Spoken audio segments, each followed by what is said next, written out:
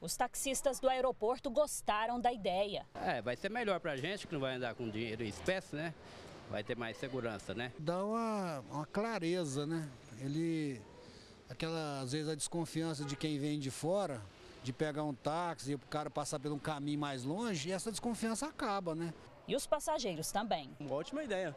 É melhor pra gente que o consumidor, que de vez em quando tem um, um certo taxista que abusa um pouco, não é verdade? Eu quase não, não, gosto de andar com dinheiro na carteira, principalmente por fato de ser cidade grande. Então eu acho que o, quando você paga pelo cartão facilita muito o, o consumidor. A novidade não acaba com a forma convencional do táxi. Aquela pessoa que quiser medir a viagem pelo taxímetro e só pagar ao final do destino, tudo bem. Só que agora o passageiro vai ter outra opção.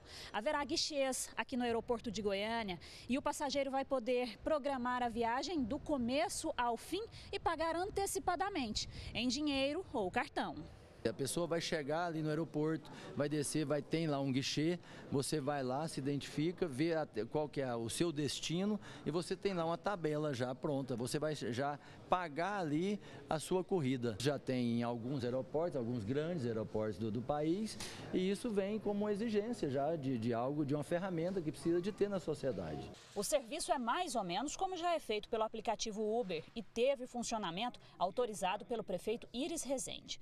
O decreto decreto que autoriza o funcionamento do táxi pré-pago foi assinado na manhã desta terça-feira no Paço Municipal.